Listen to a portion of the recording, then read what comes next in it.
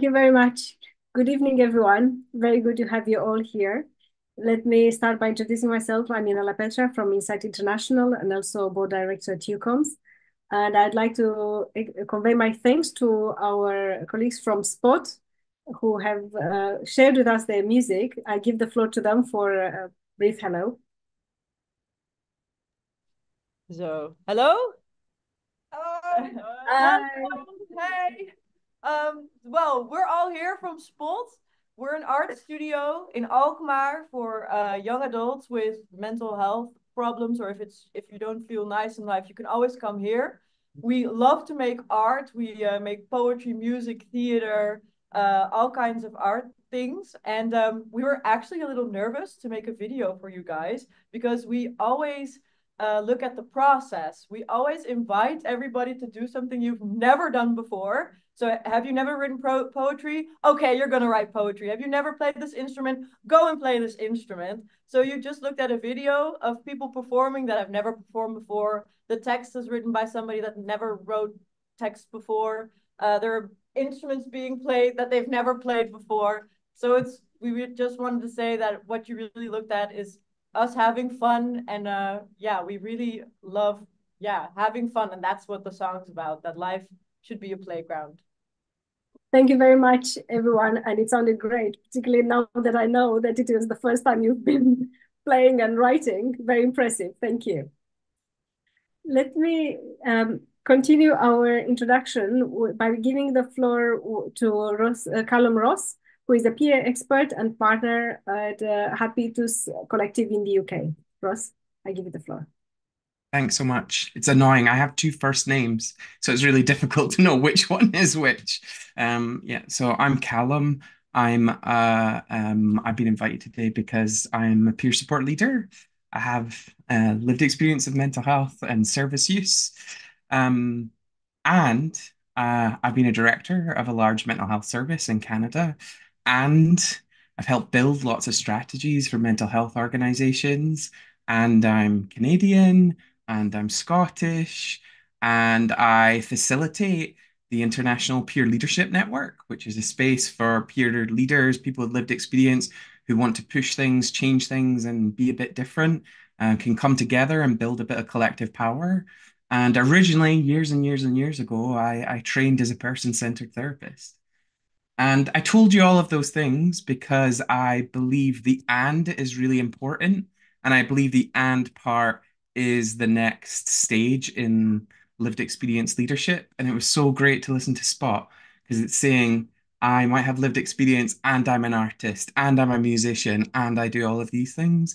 The future, I believe, can no longer be tokenized through our lived experience. We're smart, we're capable, we're accomplished as people with lived experience, as peer supporters. Um, and I think what makes us different is people who talk so openly about our lived experience is I contribute, I may be all of those things that I said and, but I'm always contributing first and foremost with my lived experience of my mental health. Uh, and I'm bringing that to uh, the conversations and the work that I perform every day. And that's really difficult. Uh, and that's what I work on. And that's what I enjoy. I've made a choice to do the peer support work, to do the lived experience leadership. Um, most importantly, as well, is uh, I uh, represent a community and I get power from that community of lived experience. I am connected to lived experience folks from across the world, locally here where I live in the UK, uh, and I get my health from that community, I feel like, more than anything else. Uh, and I'm also held to account by that community too. Um, and that's really important to me from lived experience uh, perspective. And so, how does all of what I've just told you kind of link to what's happening today? Well, when I started working in and around the mental health world, I was quite young actually. It was 2003. I uh, was a little bit thinner and definitely a little bit younger. I volunteered with a small organization called Kids Help Phone. And even at that time, I felt uh, I felt really, really uh, strongly about lived experience and peer support. And I've always believed that those two things, peer support especially, is the vessel, is a really great vessel for us to transform the mental health system, improve it, change it into a way that really meets our community's needs. And it wasn't until later into my career that I learned about the concept of recovery, which we'll be covering as well tonight. And uh, I really got excited the first time I heard about recovery because it seemed to me to be permission to break the limits of the traditional mental health system and to be able to see people who used it as not kind of, as long as you're stable, that's okay, that's enough. Um, um, it allowed people to have dignity of risk, and it's a model that matched my own belief really, really strongly. Um, and I suppose finally, it put responsibility on me now as a system actor, as someone who delivers mental health services or is a big part of that, to change the system a bit. Um, not just for the people in that system receiving the services, they weren't the ones that always had to change. It was the system itself who had to be better at delivering. Um, so I'm so excited to hear uh, first from WHO and and their European initiative where they're going to be talking about transforming the attitudes of mental health, accelerating this change process so that it's universal. And I see lived experience and peer support central to that. Uh, that is really, really important to me. And I suppose the other thing I'm really excited for is the panel about recovery across Europe as an Anglophobe, we uh, Anglophobe, as an Anglophone, uh, we have a bit of a bad habit of looking to the other side of the planet uh, before we actually just look across the channel to Europe um, for inspiration when it comes to what recovery can actually do in lots of different settings and lots of different places. And um, and I think the other piece that um, I really want to challenge is that often I think living in Northwest Europe, we might be a little bit superior sometimes, and we believe that other people can learn from us rather than learning uh, kind of from all across Europe. And then that's what I'm really excited about is to personally challenge myself. And I'm so happy that I'm going to be learning from leaders in Europe, from the East, from the West, from the South, from the North. I think we've covered that. I think that's probably enough for me and enough about my story. I will kind of connect at the end of this evening with some reflections. But back, back over to you, will. Thank you very much, uh, Callum. Very good to hear from you. And it is our tradition at EUCOMS to always start with um, an introduction from somebody with a lived experience. And it is very important to us to always continue to engage. Um, I would like to um, give the floor to um, my dear, very old colleague and collaborator, uh, Dr. Uh, Ledia Lazeri, who is the um, regional advisor from the WHO Regional Office Mental Health Program. And I'd like to say that um, she has kindly agreed to share with us her um, the program the WHO has um, today on the mental health flagship initiative. And also, I hope that you will contribute to the panel discussion. And as Callum mentioned, we are going to focus on how we can support recovery, looking from the perspective of the local and national ecosystems. Maybe I give the floor to you. Thank you. Thank you, thank you, dear Ionela. Thank you, dear Callum and uh, colleagues. I'm I'm very humbled to be invited here today, and uh, and also very um, um, uh, privileged, I should say, to be uh, together with colleagues that are from all over the world. Basically, I'm I'm so moved to see all the the the, the introductions in the chat. People are coming all the way from Toronto to to to Turkey. So uh, thank you so very much for inviting me to this um, exciting uh, evening today. Um, and also, uh, Ionela, we are old date friends and colleagues. Um, uh, but like Callum said, I have also uh, been working with WHO for more than uh, 20 years and um, in various settings both service development, um, uh, uh, mental health advocacy, uh, policy development, and uh, in, in various contexts. And that brings me to uh, the pre my presentation today, which is actually introducing to you how uh, what is WHO doing in terms of mental health, how it has prioritized mental health as a flagship priority, and then how this um, is is being operationalized. I don't know if you, okay, is, is my screen okay? This is in presentation mode, you see, okay. So what I'm going to talk is a few words about what is WHO and how does it work. I don't take it for granted that people know how WHO functions and works. I'll try to make a couple of reflections on diversity then um, um, introduce what is the scope of the mental health flagship program and the importance of cross-learning as indeed the key to the evening today on uh, how can we collaborate with EUCOMS and, uh, and, and in between various uh, mental health initiatives and experiences. Um, so WHO was established on the 7th of April, 1948. We are already 75 years old. Uh, if you, for those of you who may remember, 7th of April is the World Health Day. So every every year, WHO establishes a particular topic, and it is celebrated always on the day WHO was founded. It is composed of uh, 194 member states. We are a member states organization, which means that we are governed by the World Health Assembly that gathers annually in May every year.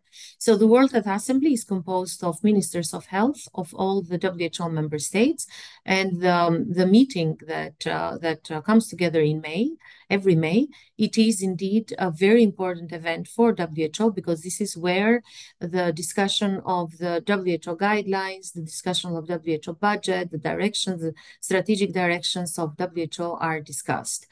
WHO functions through seven major offices. One is our headquarters in Geneva. This is where the, WHO, the, the World Health Assembly comes together. And we have six regions, starting from uh, uh, Eastern Mediterranean, uh, Europe, Southeast Asia, Pan American uh, region, and the Western, uh, uh, the Western Pacific, of course, the African region as well. Uh, our region, the WHO European region, is the largest of the WHO regions. It is composed of 53 member states, and as you see from the, its composure, it, it, it, it inherits the legacy of a different geopolitical constellation in Europe, because as you see, we have all the European Union countries, but we also have new, uh, new independent states that, that came from the break of the former Soviet Union. We have Caucasus with Georgia, uh, Azerbaijan, uh, Armenia. We have Central Asia with five uh, republics, independent republics in Central Asia, and the Western Balkans. The, it is governed, we are governed in WHO European region by our regional committee that gathers annually each September and by the standing uh, committee for the regional committee in the interim. I have always also put the, the acronyms. We are infamous actually about the use of acronyms. So if you happen to bump into those acronyms, at least some of you may remember that WHA means uh, the World Health Assembly. Um, we have a, a, public health mandate. We are among the other UN agencies such as UNICEF, UNDP, um, UNEP, the uh, UNESCO, etc. We are a specialized UN agency that have a public health has a public health mandate, and then we lead the global efforts to expand universal health coverage. WHO directs and coordinates the world's response to health emergencies, and then works to promote healthier lives from pregnancy care through old age. And we, when I say we, the WHO staff, it's actually the secretariat, acts as the staff of WHO acts as secretariat to the member states, because as I said, we are a member states organization and we are governed by the elected governments of our member states. Now, when it comes to Europe, we are uh, led by what we call the European Program of Work that calls for united action for better mental health in Europe. And the Mental Health Coalition is one of the four flagship initiatives of this EPW. The, the, our program of work is called EPW, and it expires at the end of 2025. Uh, the and for those of you who are curious, what are the other flagship uh, initiatives? The other flagship initiative is immunization.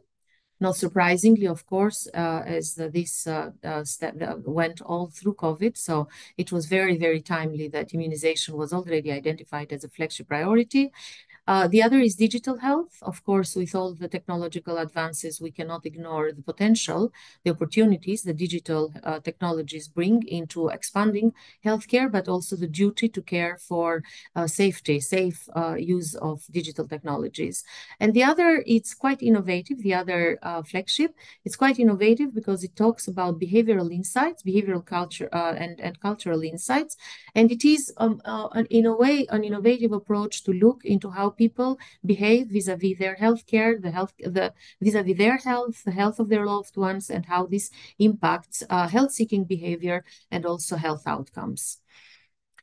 Now, um, we uh, in in WHO Europe, our um, uh, current operational framework is the framework for action on mental health, 2021-2025. It was endorsed by our regional committee, by our ministers of health, in September 2021, and you see that all the three uh, major strategic directions of WHO have of uh, of the global WHO have been uh, kind of translated into our European context through uh, mental health service transformation. And here we talk about self-care and management, mental health in community and general healthcare settings, and long-term care and support. And not only?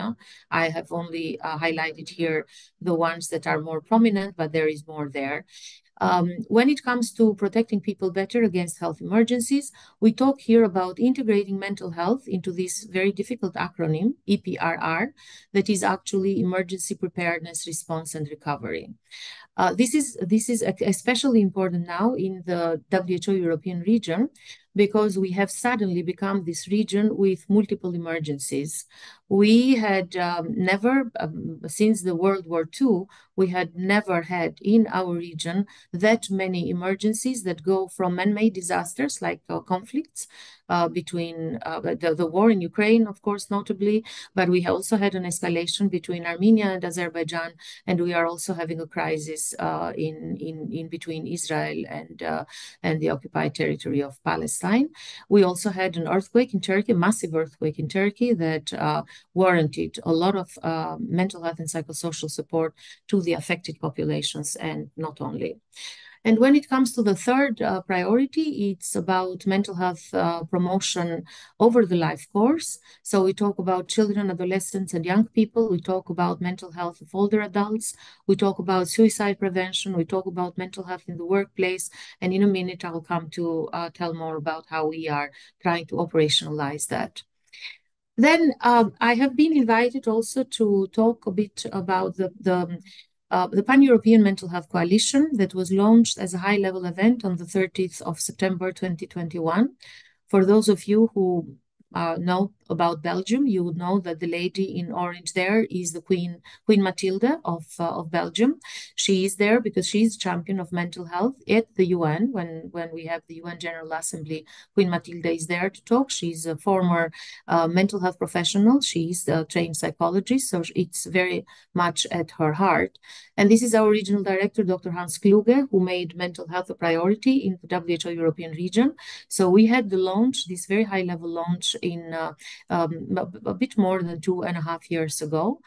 Um, and we call it a pan-European because we want to make sure that it's for all those, all the 53 member states of the WHO European region. No, so it's not only the European Union, not only the Western Balkans, but it's across all the 53 member states. Now, this is an implementation mechanism. Now, why why we needed a, a, a European mental health coalition? Um, we, we have made a reflection in, in WHO Europe about the fact that um, WHO published its very first uh, World Mental Health Report more than 20 years ago. It was in 20 in in 2001 when the world saw the first World Mental Health Report that uh, that was very aptly named uh, um, "Stop Exclusion, Dare to Care." And if you compared the the what um, uh, how much um, ahead the world has gone in since since that time, it's not much. And even in the WHO European region that is a bit better resource than other regions in the world, we still have a huge disparities, not only in between our member states, but also within the member states. Within a, within a country, you have those disparities where you have better access to care, for instance, in the capital cities, and then uh, in the remote areas, you have nearly no uh, access to mental health care. And therefore, we need to think differently about mental health. So it's not only about knowing what to do, but it's also knowing about how, uh, uh, knowing about how to do it, and also analyzing a bit why haven't we been able to move ahead so much in the last 20 years when solutions were already proposed 20 years ago. So why those solutions haven't been uh, uh embraced and haven't been endorsed to the extent that we would have wanted at the time the World Mental Health Report was published more than 20 years ago. So the Pan-European Mental Health Coalition is an effort to create um, a, a, kind of a critical mass of uh, stakeholders, of partners that share the vision, that share a voice, that share an interest, that share expertise, that share experience, that share resources to contribute for making mental health a priority, not only in their own countries, not only in their own context, but also across those countries, across the whole European region. So uh, it we we have envisaged the Pan-European Mental Health Coalition as a support mechanism for the implementation of our framework for action on mental health. It is a structure for exchange between diverse members with shared interest in driving change. And when we talk about diverse members, it's not only about members that come from very diverse uh, countries. As I mentioned, we have still in our uh, region countries that invest uh, almost 98% of their mental health budgets go to asylums. So there is a huge diversity. If we then remember that there are other countries that uh, invest massively on community-based mental health care, so there is a diversity in the area of investments, for instance, and, and the budget allocations, but there is also diversity in between what the members do represent. So we have mental health professionals there, we have policymakers, we have persons with lived experience, we have, um, uh, and, and by persons with lived experience, we also consider those who have been involved with the lived experience as family members, as friends, as carers, and so on, uh, mental health advocates, and so on. It serves as a platform for peer learning and networking. It allows coordination of advocacy efforts amongst coalition members. So, for instance, we're very happy to see when members uh, of the coalition reach out to each other saying, Oh, I heard in that meeting about this practice. Uh, can I know more about that? Um, and I talked about the need for diversity of uh, the stakeholders, and you see here uh, who are the members and supporters of this coalition. Um, and then uh, how did we envisage the, the work? So how do we prioritize? We had this exercise on the middle of February 2022 when we had um, about 150 people from all over Europe that gathered online. It was still uh, the, at the time of uh, exclusively online meetings. And uh, we discussed about how to prioritize the aspects of the European Framework for Action on Mental Health. And this is where we came. We came to discuss about those working packages that you see here that have a number. The first working package is mental health leadership and anti-stigma. The second is mental health and well-being of children, adolescents, and youth. Then we talk about mental health and well-being of older adults. Both those groups, children, adolescent, and youth, and older adults, were very clearly affected. Um, their mental health and well-being was affected during COVID, so we learned the lesson and we try to prioritize um, uh, action on that then of course we cannot afford not to take action on mental health and well-being at workplaces, recognizing the fact that workplaces are increasingly um, important into uh, the the the, uh, the social tissue of a society, the social fabric of a society, and can play a very important role into uh, preventing risk factors and uh, responding to to needs, to mental health needs. The fifth working package is mental health and, um, and psychosocial support in emergencies. And that was uh, this, this prioritization was made. You see the date, and some of you will recognize that this prioritization was made only a few days before the invasion of Ukraine. And that means that um, uh, we were able to then mobilize a large network of experts from not only from all over Europe but also from the world to to be deployed to um, to so to to not only inside Ukraine but also in the refugee receiving countries neighboring Ukraine to support the authorities, to support refugees, to support the host population with various um, uh, interventions and tools and um, so this is how we have been able to to to work in this um, um, working package. And uh, the sixth and the largest working package, where EUCOMS is certainly very much, I think, interested and invested, is mental health service transformation. And this is the largest because here we not only talk about how to transform services from, for instance, institutions to community-based, but also how do we talk, how do we maintain um, uh, competencies and capacities of staff? So what happens with mental health professionals?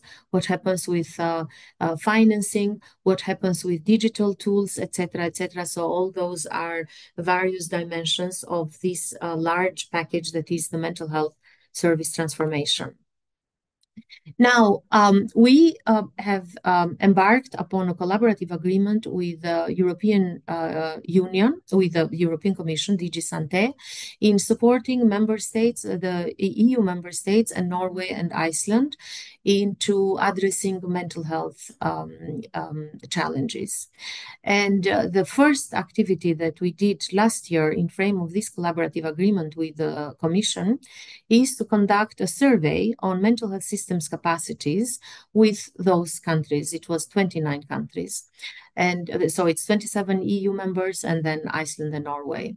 So you will be interested to see that the most frequently cited priority area and I think you'll be happy to see that, that priority area number one is diversification of mental health care offer. So even though we are talking about the countries that are members of the European Union, presumably the countries that are the best resourced and the most advanced in terms of having designed appropriate mental health policies and services, still diversification of mental health care is seen as priority number one. And you'll see then uh, the, the how, how the prioritization goes. So uh, the mental health promotion is, um, is the second and capacity improvement. So it's no, no surprise why those three are, are the most prioritized areas. Again, in the same uh, survey, we uh, try to capture what are the enablers to policy or program implementation. So um, the member states identify the need for having mechanisms in place as enablers. So when you have mechanisms in place that are uh, like good governance, good coordination, this is an, a good enabler. A high level of community cooperation and interaction a strong buy-in of mental health sector stakeholders, and then uh, you see um, uh, also that um, the, the, when it, when it comes to uh, strong buy-in, I'd like to draw your attention on the buy-in of people with lived experience, uh, families and carers. And you see here that um, this as an enabler is not very high up in the in in this in this chart and this will come as um, as no surprise then when we go to the next slide that talks about barriers. And you see here the limited buy-in of people with lived experience families carers is identified as a barrier. So while we have in the enablers this is not seen as a particular enabler this is seen as a barrier uh, in, in this slide here. So there is something about the buy-in of people with lived experience, families and carers that needs certainly to be addressed into how policies and programs are designed, implemented and evaluated and, and, and measured. Now, um, for those of you who would be interested to know more about uh, what the collaboration with the, the European Commission consists between WHO and, and, and European Commission exists, is uh, that we have those pillars that uh, you see as, uh, as outcomes in different colors. I'm, for the sake of time, I'm not going to, to, to focus on all those, but I would like to focus on the on the light blue outcome two that is tailored capacity building, because this is where I hope we can find common scope with EUCOMS. Uh, because we talk here about um, uh, quality rights toolkit training, which is in a way a WHO signature tool for advancing the institutionalization, securing uh, making sure that rights of persons with mental health conditions treated in mental health care uh, facilities are, are, are maintained. We talk about delivery of community mental health guidance. And for those of you who are aware, it is, it's a guidance. So it's a toolkit. It's a set of documents that talk about how to develop community mental health care in various settings. We talk about um, training in professionalization of lived experience, and I want to call to recall here what Callum uh, introduced at the beginning. He introduced himself as um, uh, as as how he has departed from his personal lived experience into becoming a very strong um, uh, design uh, um, designer and shaper of mental health policies and, and services in his context. And what and, and you, Callum, you mentioned also that the uh, the tokenistic approach to lived experience should end. And actually, the, the uh, 2.4 um, output here that talks about training in professionalization of lived experience aim exactly as this thing, so that lived experience peer supporters are not only uh, uh, uh having a chance to have a harmonized uh, capacity uh, building, but are also recognized as a, as a, as one of the mental health professions that needs to be compensated and remunerated appropriately and duly as everybody else that is a mental health service um, delivery professional. Then we uh, we focus on uh, training in mental health leadership. I'll talk about that in a minute, and uh, training of the WHO Mental Health Gap Toolkit that some of you may be aware, some of you aren't, and for those of you who aren't, is a WHO signature toolkit that aims at expanding capacities for um, uh, delivering um, a, a level of mental health care in non-specialized settings, primarily in primary health care, but not only.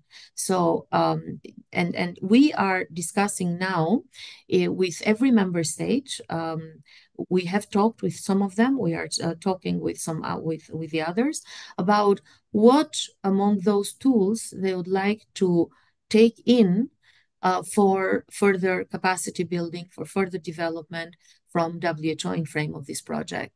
And again, for the sake of time, I'm not going in detail through these outcomes, but I'll be happy to respond to any question if this comes uh, in, um, by the participants.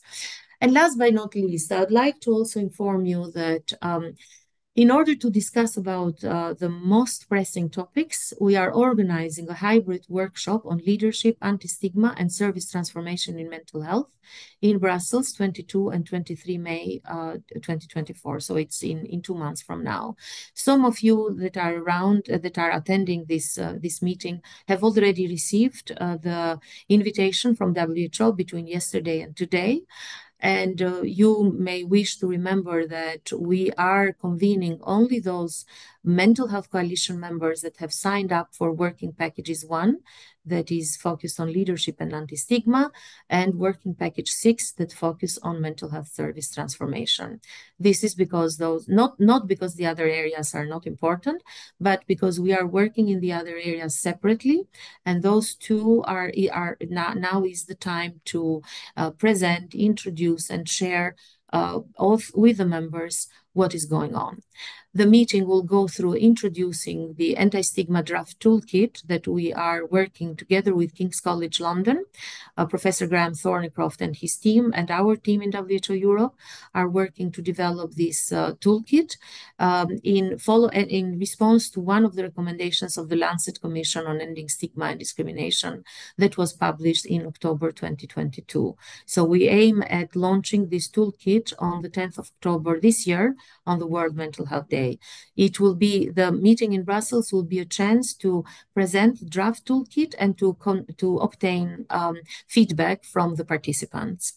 Uh, similarly, together with the Global Leadership Exchange, and I saw um, um, Sean is uh, is I, I, think Sean Sean Russell from uh, Global Leadership Exchange is uh, or Steve, probably Steve Appleton, is uh, in um, in the meeting. We, together with the Global Leadership Exchange, we are working towards developing a, a training synopsis for mental health leadership um, capacity building um, uh, stream, and we are going to introduce it there. And similarly to the anti-stigma toolkit, we will uh, ask for feedback from the participants. We are focusing on mental health investment and financial protection. There is not, there is very limited um, mental health financial protection um, um, uh, consideration uh, possible because there is still very little data about how to uh, collect uh, evidence about mental health financial protection. We want to focus on mental health in primary health care because with uh, dropping numbers of specialized mental health professionals in all our countries, we need to strengthen primary healthcare capacities in delivering some level of mental health care, and we are focusing on continuity of care. This includes, of course, the institutionalization, community care, transition from um, adolescence to adulthood, and from adulthood to older age. So transitions in a in in a, in a very wide uh, sense of the word. And of course, uh, Ionela uh, had the, uh, the nice idea to use this, uh, the WHO World uh, Mental Health Report diagram that you see here on the, the right side of this uh, slide as a template for this meeting. And I'm very happy to say that our meeting in Brussels is, is indeed very much looking into how can mental health services fit or, or how can, can this diagram help mental health services to collectively come together for better access, better quality, better outcomes for mental health of the populations. And with this, I'm stopping uh, my sharing, and uh, I'm I'm thanking you very much for uh, inviting me and for your attention. Thank you, Ionela. Back to you. Thank you very much, Ledia. It's really impressive to hear about the inspiring work that WHO is doing, the broad scope, but also the complexity and the relevance to our network. We're very happy to have you here tonight. Thank you for taking the time. And I will move quite quickly, looking at the time, directly into the panel discussion. And what we want to focus on uh, tonight is how we can leverage the, mental, the local mental health ecosystem for transformation that engages everyone, 360 engagement towards a sustainable recovery centered um, service transformation. And I will start directly by giving, uh, I asked all the panelists to present briefly their local ecosystem, and I give directly the floor to Tor Helge, and then we'll have the joint discussion. Tor Helge, the floor is yours. Thank you, Ionela. Uh, my name is Tor Helge. I'm from the city of Oslo.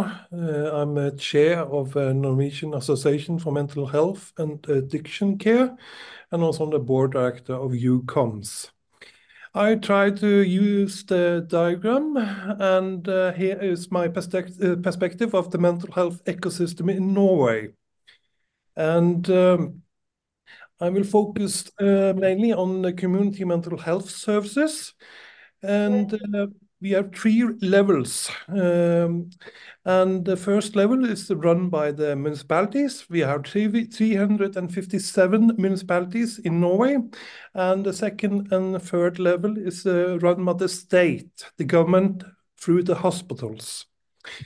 And uh, we have a really strong primary mental health and addiction services in the municipalities and we have uh, started with community mental health services and centers in the 80s and they are called district psychiatric uh, centers in the hospitals. And also private providers also in cooperation with municipalities and the state and also the inpatient treatment in the hospitals the third level.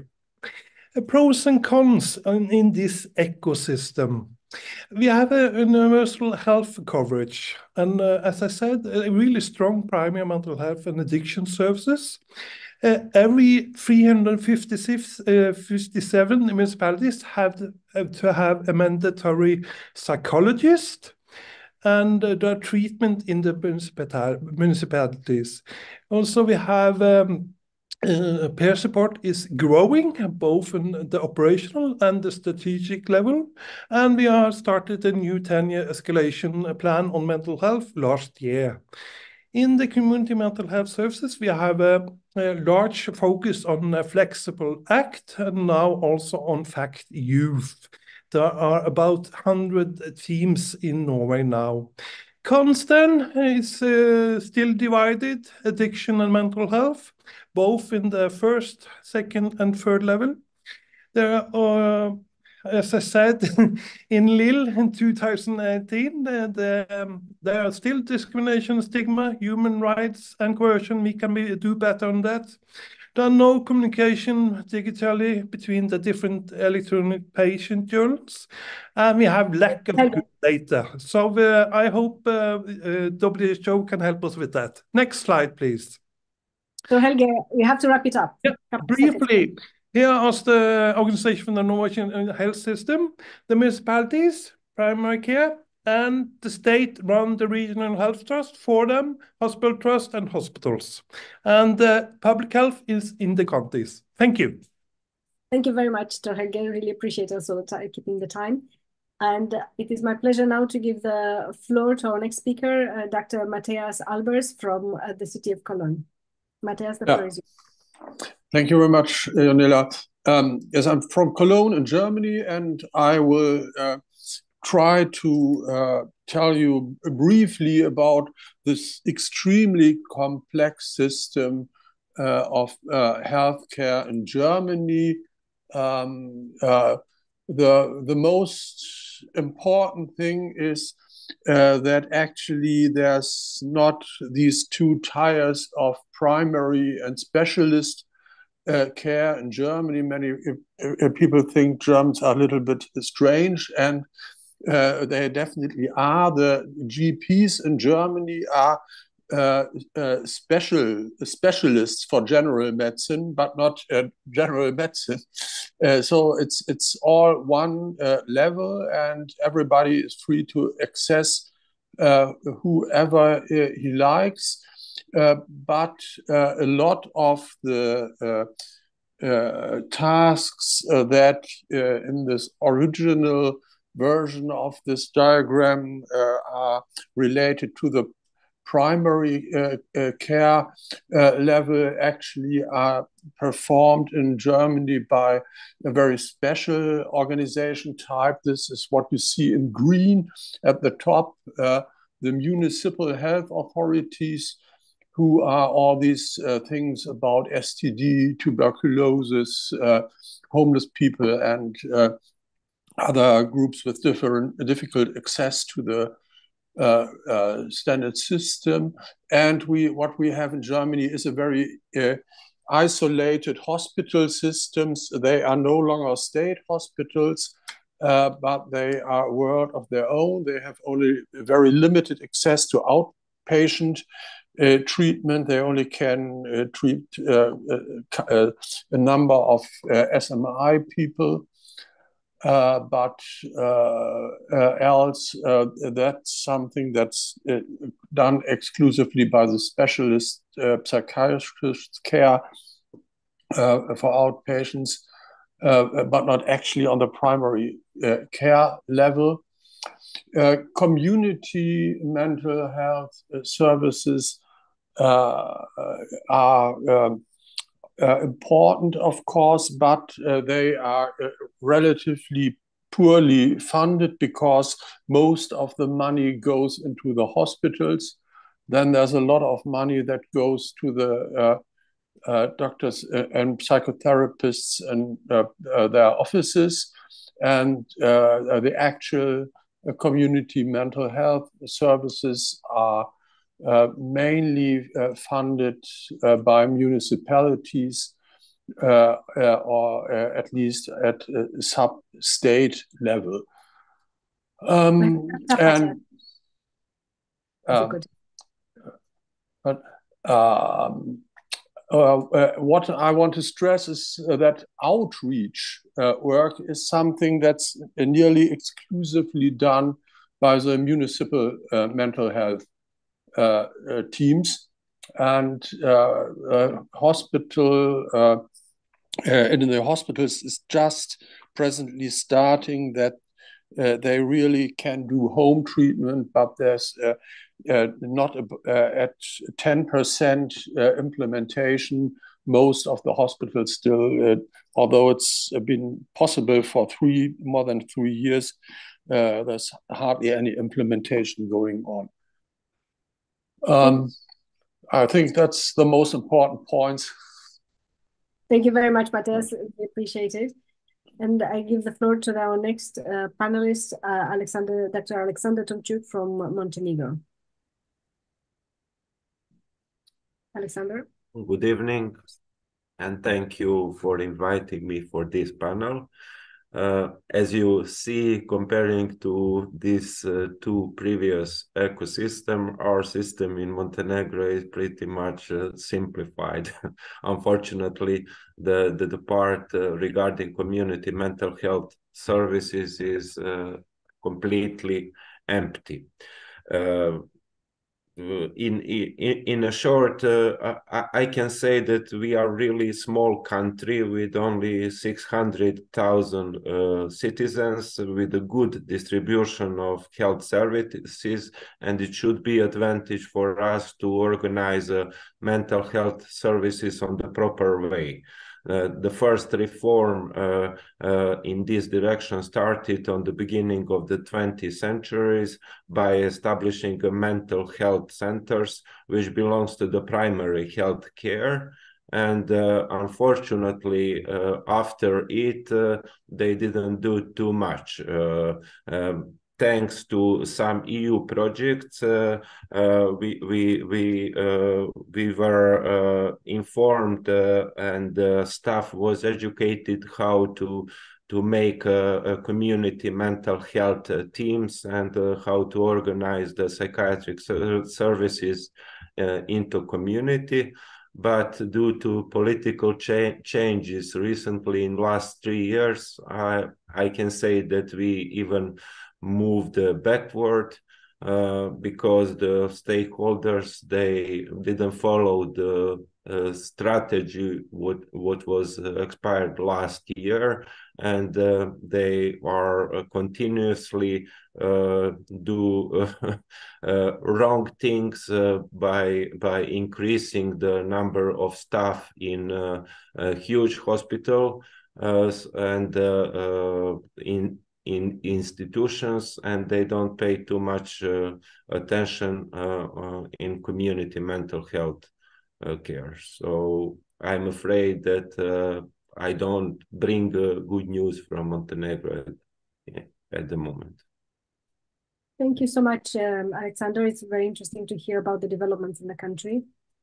And I will move on with our next presenter, uh, Mr. Tiberiu Rotaru from uh, Siret Hospital in Romania. Hello, everybody. Thank you so much for giving me the chance to speak in this uh, very interesting webinar. Unfortunately, there is not a lot to say about the things going on in Romania and about the ecosystem in mental health in Romania. Uh, as I like to say, we are uh, in a country that uh, the reform in mental health, it's never ending, but it's never starting. So talking about community mental health, we really don't have a real community mental health. Our mental health system is based mostly on the hospitals uh, and on the outpatient care and on the on private practices.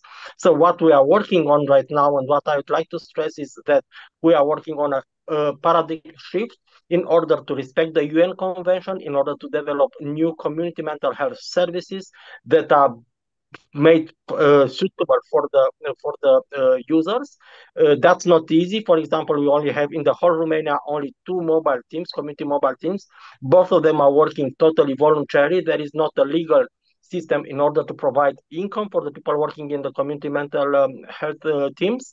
Also, we don't have a system for using peer workers in our community mental health um, uh, teams. So uh, it's easy to complain a lot about these things, but I think it's all it all has to do with individual pioneers in, in order to change things and to learn from one one from another. Uh, that's why I think WHO and EUCOMS they can be very helpful in order to push things towards community mental health uh, services. Thank you very much, um, Tiberiu. And I'd like to give the floor to our last panelist, uh, Professor Manuel Franco Martin from Spain. Thank you. Thank you very much for counting on me for this meeting. I come from Zamora and Valladolid. I'm going to to explain about our system. We are in the in the core of Castilla León, it's a region of Spain, and we applied a, a system called reticular model is uh, addressed to to join or to establish a network of mental health without splitting in between the hospital care um, and community care. We can see in the slide that the, the arrow is the service in the hospital and the department is not working just in the hospital, works in the community and psychiatrists, psycholo clinical psychologists and mental health nurses move to the primary care centers to work with the uh, GPs for attending uh, close to the patients in the community, in the rural areas, for working with the all uh, primary social service. It means that we have not a specific no, uh, mental health center, and even all the community, the rehabilitation is made in the community. We don't work in a hospital for rehabilitation all the beds are used for acute and the average of stays is around uh, 6 to 12 days. And all work with the day hospital with the uh, moving to the houses of the patients. And the the rehabilitation is provided from su high support in the first step in the training for autonomy supporting housing is a high support and uh, we work with the patient for in, uh, grow the autonomy of them and in this way we reduce the support. Next slide please. After applying this model in these two areas, Valladolid and Zamora, the, you can see how the stays in the hospital drop down in both places in different times. We applied this system first in Zamora, and we can see in the uh, left slide, um, later in the just before the the the COVID outbreak in Valladolid, and the results were the, the same.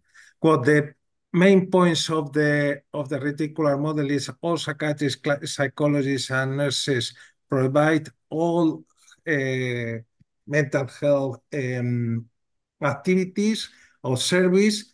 Is one department uh, covering all the area. And we work in the primary care centers.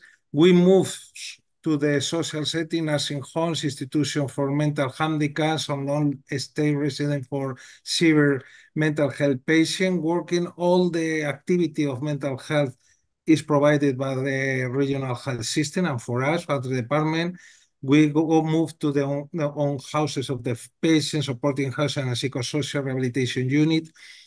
So the social network was integrated with the mental health network, we share decision, we share the decision with the social network, and is uh, we split just the functional structural service are split, but uh, the fact is that we, we can work together in the different settings. It means that the mental uh, health care is provided by mental health network functionally, no matter where, in the social settings too. The social support is provided by social network, even in functional, even in the hospital. If we have to provide social support, the, the social workers no, uh, and all the workers of the social network uh, goes to the hospital. It means too that mental health setting are addressed specifically for remission and rehabilitation of patients, and social setting are addressed for recovery with the support of the mental health network from health. And weekly, we have uh, weekly meetings involving all the, both networks in order to provide an integrated care for a severe mental health patient. Thank you, thank very, you very much, much for the attention. And thank you very much, Emmanuel, and thank you very much to all the panelists for the brief introduction of their services. And I'm aware it's a very, very brief one because there's a lot to say about each of your local ecosystem.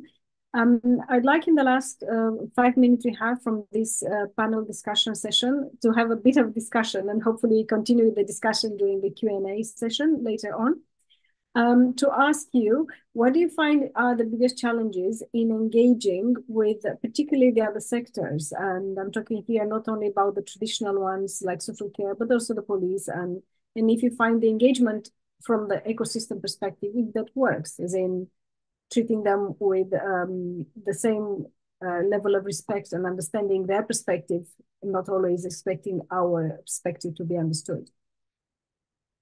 So if any of you can start reflecting on, on this.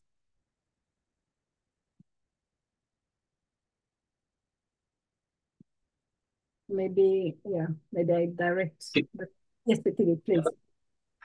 So uh, coming from a uh, coming from a very small community, it's very easy to build an ecosystem, uh, as I call it you uh, before, uh, to build networking in order to help our users to get integrated into the into community. Because what I strongly believe is that it doesn't matter how beautiful and how strong you build an institution, if you don't break the walls of the institution in order for the users to get into community and to get to get integrated into community, then the institution is not working because the institution is not for itself; it's for the users so we can work together with all the others uh, stakeholders within community in order to help our users to find their place into community. But the problem that we have for the moment is that it's only locally, but we are not supported from administrative national level and from the legislation level, and also from the na national insurance house too. So it is a difference between the local ecosystem and the general national ecosystem too. Thank you, TB. Anybody else? Yes, Manuel. Yes. I think that the, the main problem for, for that in terms of ecosystem is when we are in the boundaries, when we change from a, a network to another network, is what is represented in the template provided. I think that the point is that provide a continuity care from the hospital to the community care without any gap, because uh, I think that the the we have to keep the mind of community care from the hospital. It's not uh, we cannot change the strategy from hospital to community care, and it's necessary to change the mind in many cases of the uh, mental health workers working in the hospital, and from the beginning started to think in recovery in that way, uh, and with the continuity of care, working with the same professional, the same department from the beginning to the end, no matter where the patient is. It's, the, it's because sometimes we split the patient in, in the different needs and we have to, to, to see the patient like a whole.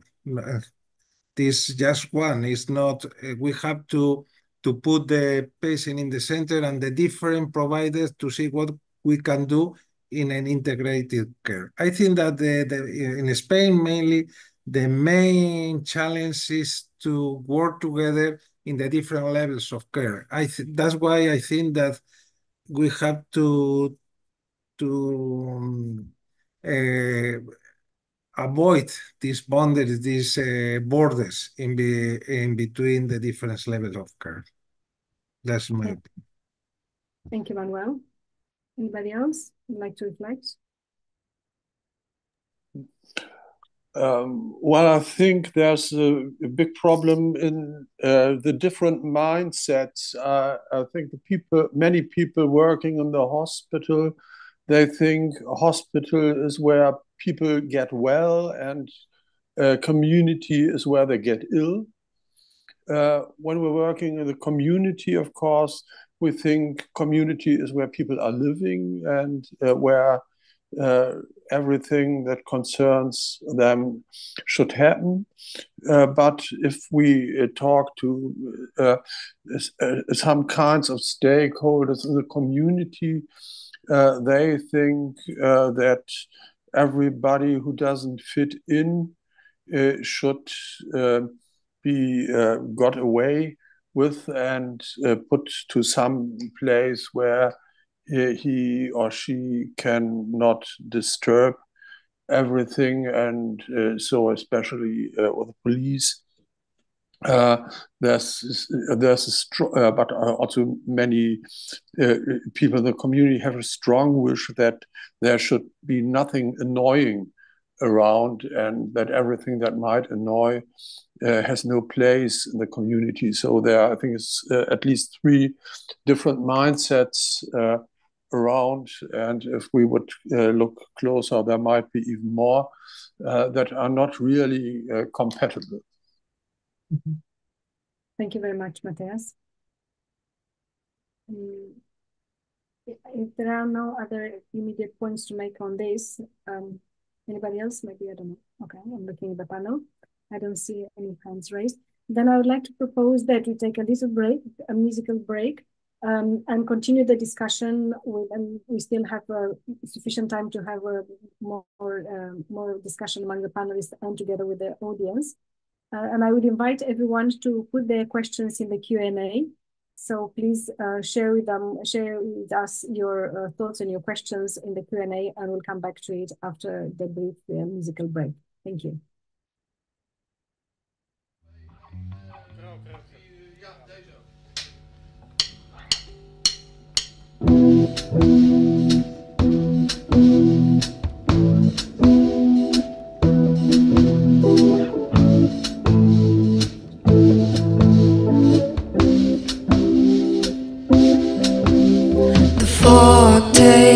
Over, the eyes turn gray. There's a wall between me and reality, keeping us separate. I can see through the eyes of someone else. Through that window, I can see myself standing there. It makes me kind of scared.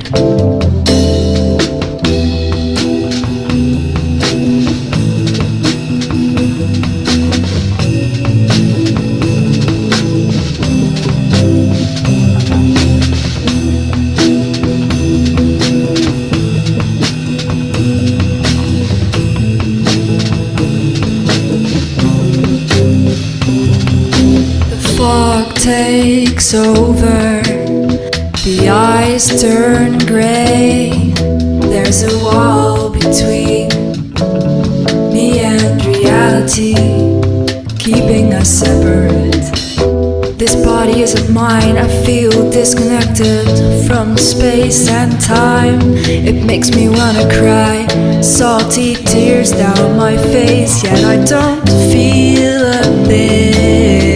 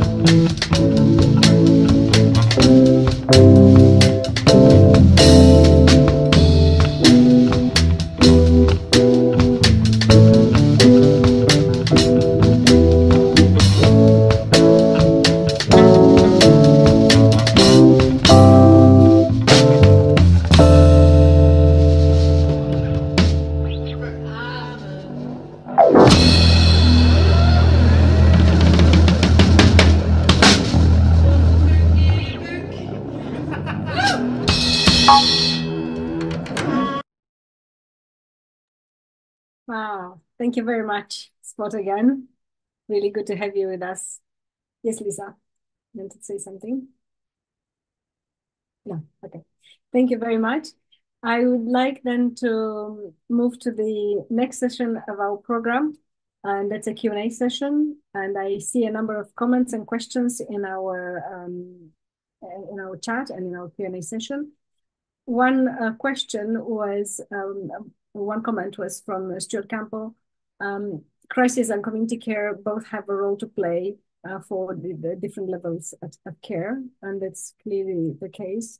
And we have a very specific question, which I understand was also asked in, in Cologne. And I hope that maybe, Ledia, I ask you to answer that question because um, I have an idea about what WHO views on it, but I think it's best that you answer to that. Uh, the question is, what is the ratio that, what is the ideal ratio um, in an ideal mental health system between the experts um, uh, by profession and experts by opinion? Is it one to 10 or 10 to 1? So that if you could answer that question, Ledia, if I may address it to you. The microphone. Yes. No, thank you. Thank you, Andre, for the question. I don't think we we do have a an ideal ratio, and uh, I'm not aware that there exists an ideal ratio. But I cannot agree more with you, Andre, than uh, on on the on the point that uh, uh, persons with lived experience should be the backbone of the of the service delivery unfortunately there is a long way to go through to go through to to that ideal because um, we need to we need different culture for the services. One thing that I was thinking, Ionela, when uh, when you um, just before the break, when you asked about the enablers uh, for ecosystems, and I would I was thinking about one barrier for ecosystems that is stigma, very active stigma, and then in many cases stigma and discrimination. So um, attitudes and the uh, service culture and very active uh, stigmatizing belief and discrimination practices do not allow uh, the, uh, the um, inclusion of persons with lived experience as peers to mental health teams. And so far, there has been a lot of success into having peers organized into organizations that are somehow um, a, a parallel to mental health services, to the public mental health services, and then even in the most advanced situations, the leap need to have to happen where services run by users are becoming uh, have to become an, an integral part of the system. So unfortunately, I do not have an answer about the ratio. And Andrew makes uh, uh, Andre makes a question of one to ten or ten to one but certainly um, something has to change for uh, mental health teams to become uh, inclusive of lived experience not only as part of the of the package that is offered, but lived experience as part of a respected and compensated and remunerated uh, mental health um, workforce. Thank you very much, Ledia. Really important point on the involvement and peer uh, services and peer workers, and we are always very keen on that. And I see another question from Romania um, on the integration, what is on the services that are really available at primary care level?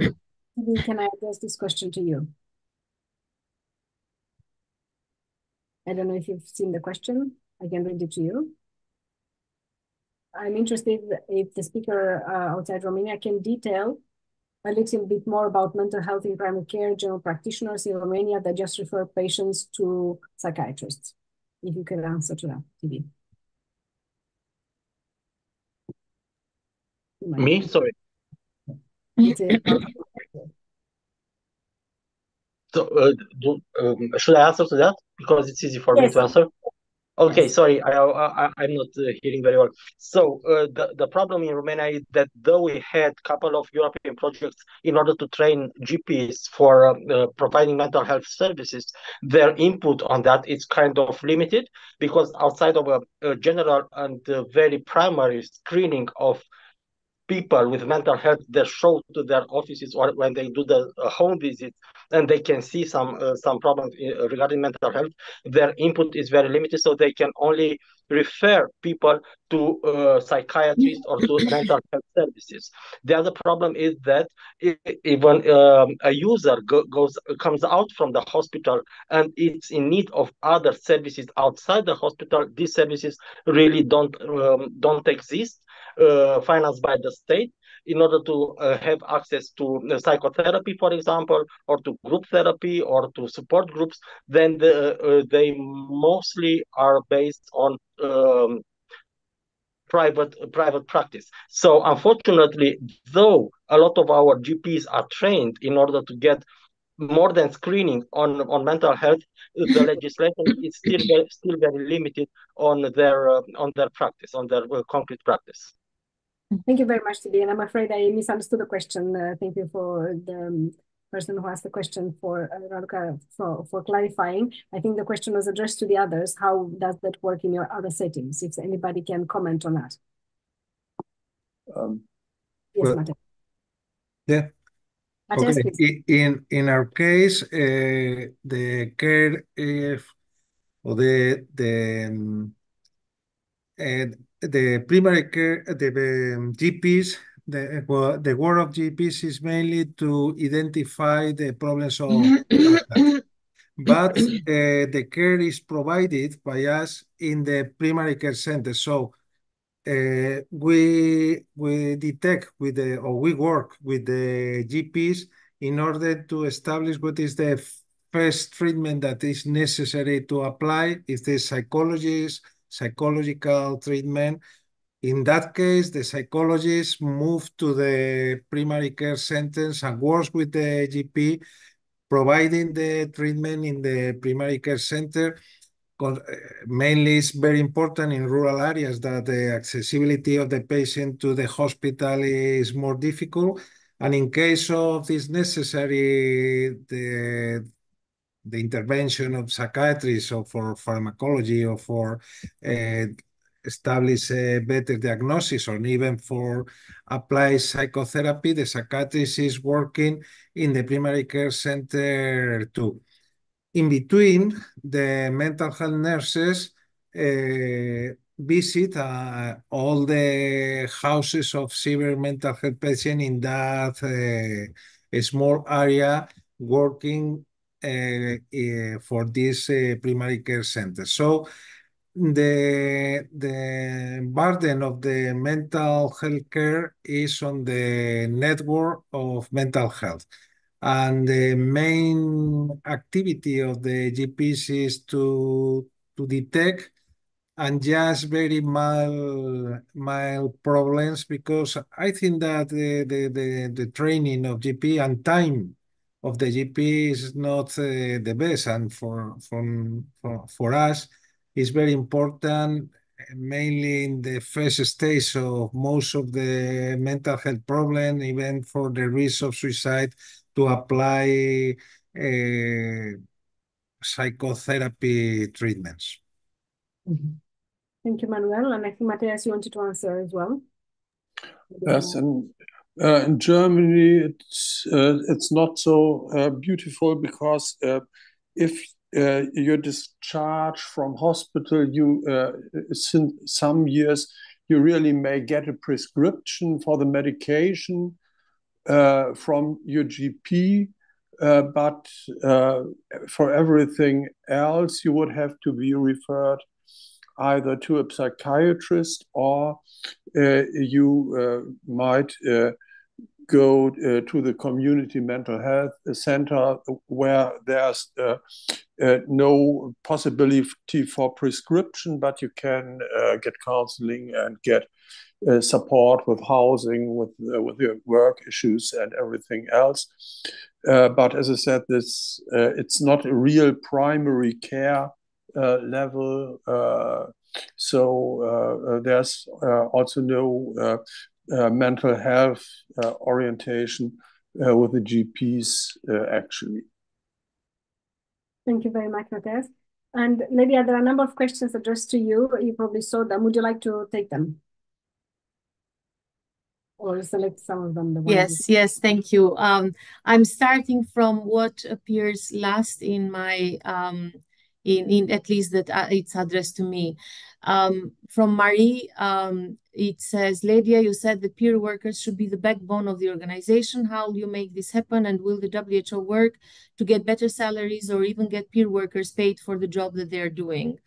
Um, I think the work we are doing is based on the on the uh, recognition that nothing uh, about us without us. This is the the the mantra of any um, work that includes uh, persons with lived experience or any any any work that includes end users, like whatever is. If you have a disability, but if you are a beneficiary of something, you need to be involved into the planning, design, and implementation of, of that thing.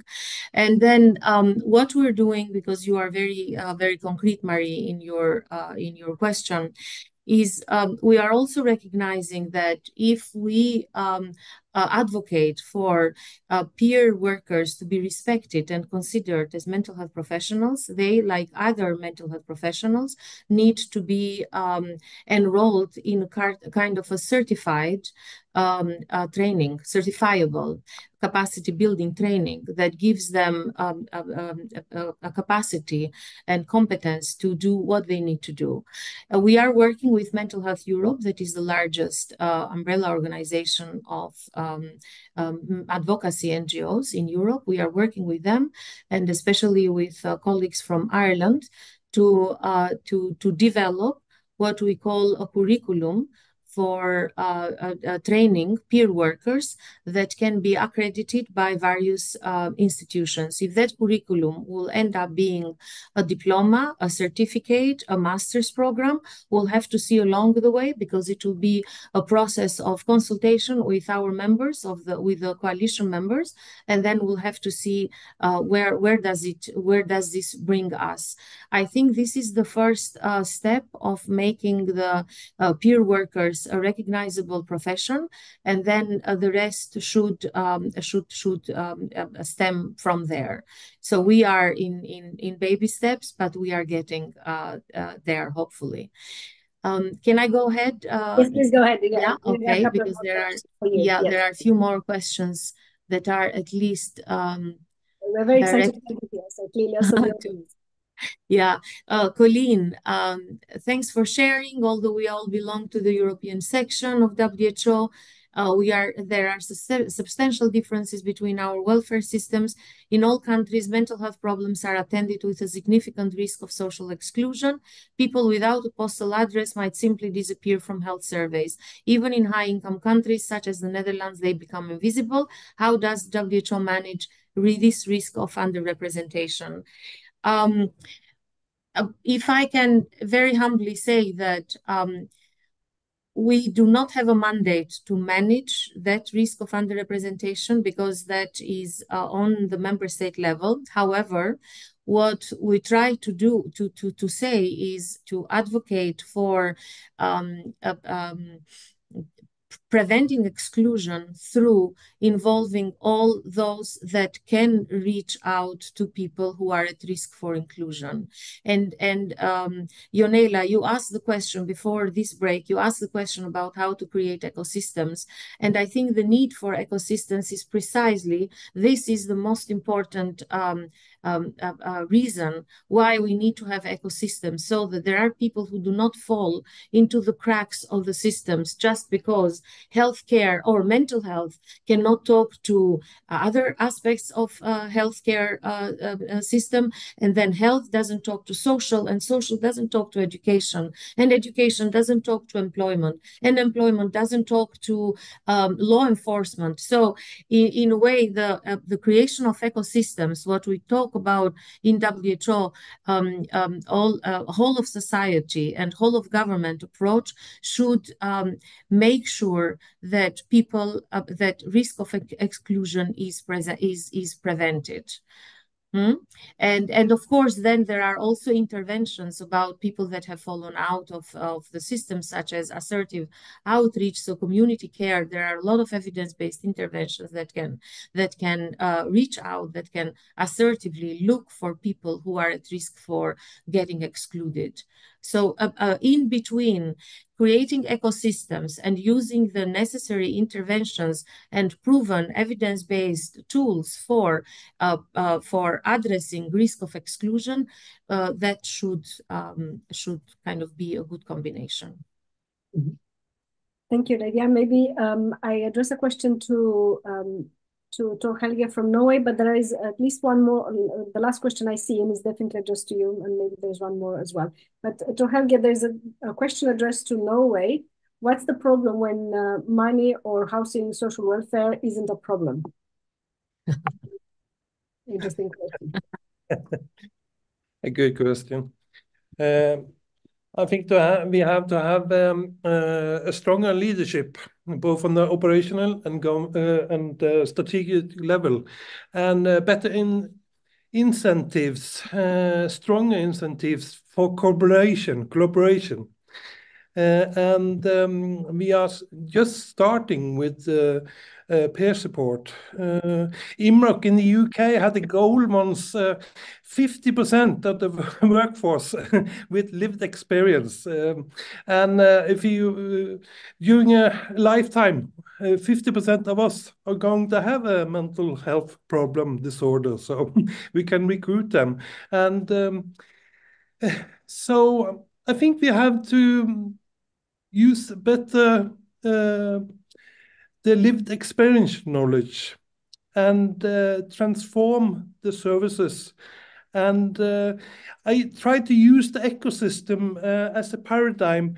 Also, we try struggling a bit with the recovery. So we have to a new way of uh, leading this. And I also, I think we have to have a more strong uh, primary health care, and also our friends in European Forum for Primary Care also eager for the, for this stronger primary care and stronger primary mental health care to to switch this. Also, we have um, uh, we, the government have stopped the reduction of uh, psychiatric uh, beds in Norway. So we have the money, but how to do it? Yeah, that's a good question. And now we have two 10-year, new 10-year escalation plan. And the last one was on quantity. Now we have to look at quality. So we have to have much more better data with the help with WHO, I hope. And mm -hmm. also uh, eager the, the global leadership exchange and mental health metrics, how to use this, how to better target evidence-based mental health. Thank you. Thank you very much, Dr. Helge. And indeed, that's uh, the question, the big how. How can we make it work? Because it's not a given. And one of the points we've uh, heard a lot in the last period from other uh, collaborators is that what is very difficult is to make sure that while mental health is central and mental health services and professionals are central, they're not taking charge, that we can genuinely engage on a collaborative basis with all our partners across the board and make them um, party to uh, to to the uh, challenge that we face because none of us can do it alone and we certainly cannot uh, succeed with just our mental health services. I'm seeing uh, quite a few questions and comments in the chat. Thank you very much for that. I um, would like to ask Ledia if you would like to answer the question that I still see addressed to you on the framework and the recently yes. framework. Yes. Yes, very happy to. And thank, thank you very much for that question, actually. And uh, in addition to the document that you referred to, Godfrey, there is also um, another framework that is youth engaged for mental health that is, is uh, developed by WHO Europe. It was developed really as a co-creation with, um, with young persons with lived experience from uh, that are members of our mental health coalition. So it was truly made by, uh, uh, by and for uh, young people with uh, lived experience. Now, um, it is easier said than done. Uh, the the question. So what what is WHO doing is uh, it, two ways. One is two two levels. One is that um, the development of what I mentioned at the beginning, the, the toolkit for uh, anti-stigma, for addressing stigma and discrimination, because in WHO we believe that stigma is still uh, the major barrier for, um, for uh, policies translated into for first of all designing the right policies uh, then uh, translating those policies into practice. So stigma is in a way at the root at, at a great to, to a great extent is at the root of uh, uh of um, of a number of things including the lack of of uh, lived experience representation. So we uh, use we will use the, the, this toolkit that will be launched very soon as one way of um, of, um, addressing addressing this problem. The other way is that in all our meetings, in all our events, in all our capacity building activities, uh, persons with lived experience occupy a very great deal of space into uh, being there, being present, because as the, the, as the Lancet Commission on, on ending stigma and discrimination found, the social contact is the best answer to address stigma and to, to improve the attitudes around persons with lived experience experience. And therefore, by having uh, more and more persons with lived experience uh, um, uh, being addressing forums with policymakers such as ministers, etc., is the best way of how to bring the lived experience closer to where policies are cooked, are designed, are planned, are implemented. Thank you very much, Ledia. And I'd like to acknowledge a couple of comments that we have. We had a comment from uh, somebody from Ethiopia on the, the mental health system and the um, uh, situation there. Thank you very much for that. And also, I think there's a comment or question on stigma, which I believe, Ledia, can be combined with the current question. I think you answered already the interventions that it was a question about what interventions are available. And it sounds like the participant is coming from uh, an African perspective and was asking about European ones. And I think that uh, perhaps the uh, they can find some answers in the framework that will be uh, WHO framework, the new WHO framework.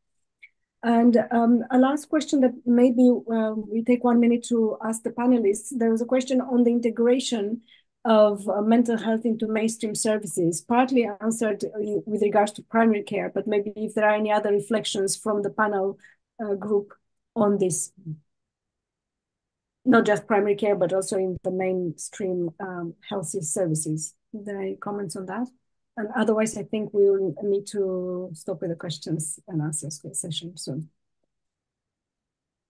Um, well, I think it's, uh, of course, it's an important question to uh, ask how are these uh, services funded when uh, uh, when it's uh, fee for service, then the integration into a fee for service system would not be Uh, very uh, positive for the outcome if uh, the mental health system is not fee for service uh, funded, but can give more has, uh, solutions that are not uh, uh, have to be ticked off uh, point by point and um, only, can only be done if the special intervention is refundable. On the other hand, if uh, there's uh, solid uh, funding, uh, then of course it's uh, better to have uh, services that, that are more integrated and less specialized because always being a specialist service means you are not competent for a lot of other things and have to refer people to other places, and of course, a special system for mental health in a way isn't uh, really compatible with the uh, idea of inclusion. Uh, so, uh, that, uh, but on the way to that, it uh, may well be that for some time, specialist services that really can cater to the needs of people are more adequate than a completely uh, mainstream service uh, that's uh, uh not able to uh, do individualized care. Thank you very much, Matthias. Uh, for that. And thank you all of you for the contribution and also the questions that are, we will um, answer the questions after the seminar. We'll try to do that in writing.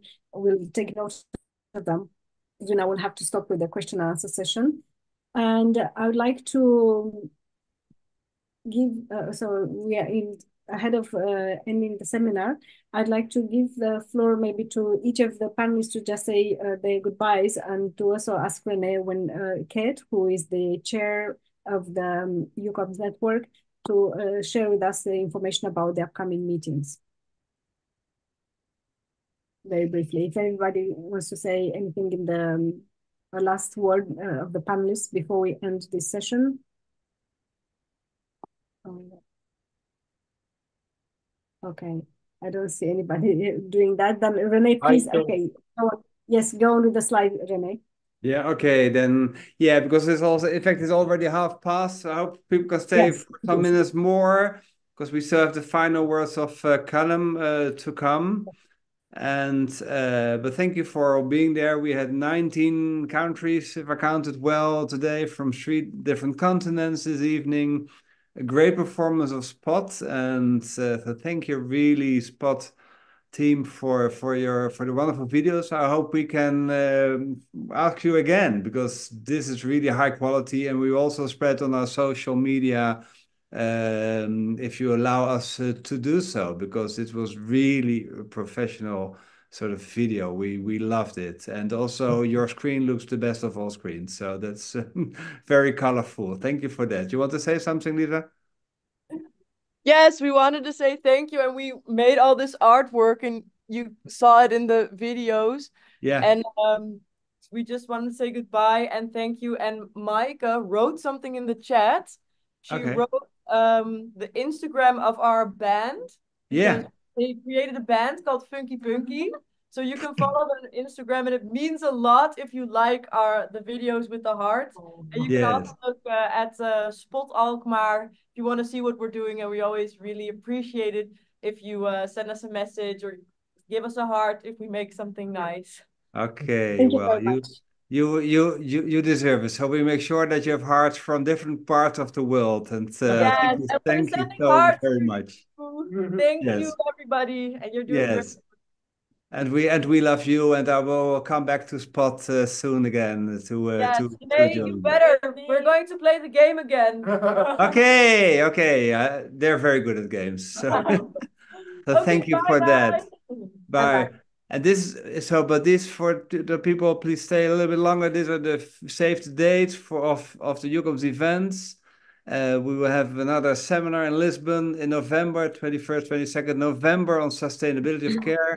We have a seminar next year, March, in Greece, in Alexandroupoli, uh, of the Society of Social Psychiatry. We have a webinar coming on September 18 on LGBTQ uh, with speakers from different countries on the, the, the how that relates to mental health. Very important topic. And uh, then November 27 on peer support in prisons among refugees.